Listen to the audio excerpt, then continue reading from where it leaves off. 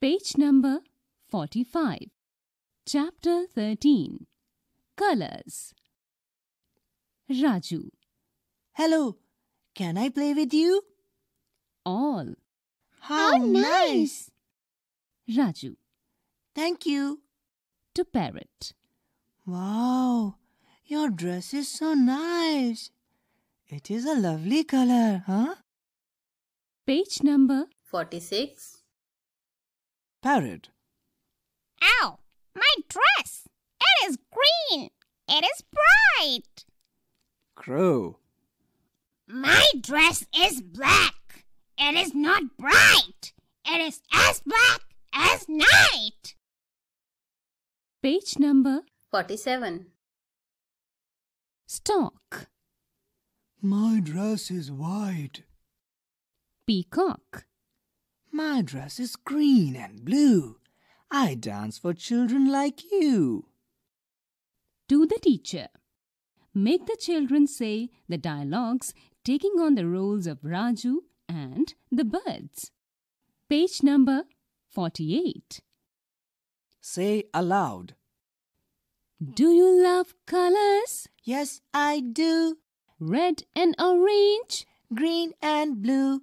I love colors. dark and bright, Yellow and purple.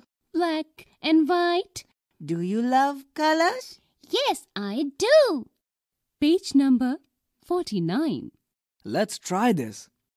1. Color this picture. Given here is a picture, a beautiful scenery. You can see clouds rising above the river and a tree on the bank.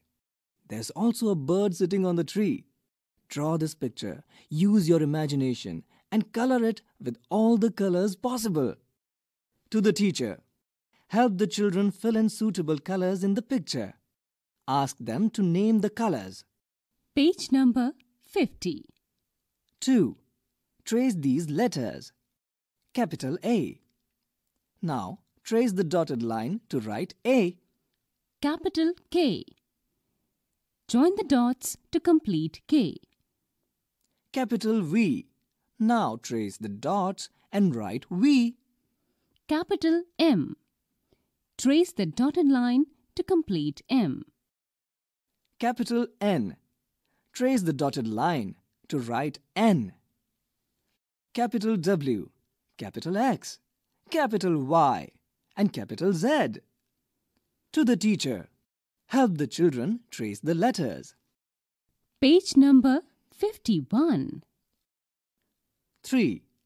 Can you name a few of the things that you see in this picture?